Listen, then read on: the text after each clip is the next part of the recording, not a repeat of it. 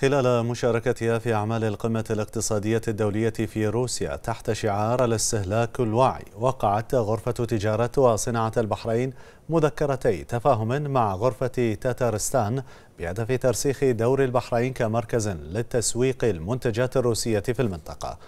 وفي هذا الصدد أكد السيد سمير عبد الله ناس رئيس غرفة تجارة وصناعة البحرين على أهمية تطوير العلاقات التجارية بين البحرين وروسيا على الأصعدة كافة وتعزيز التعاون الثنائي والاستفادة من الخبرات المتراكمة التي يملكها الجانب الروسي في العديد من المجالات وصولا إلى جعل البحرين بوابة لإعادة التصدير في المنطقة منطقة الخليج وشمال أفريقيا. مشيرا إلى الإمكانات التجارية التي يمتلكها مجتمع الأعمال في البحرين ونظيره في تاتارستان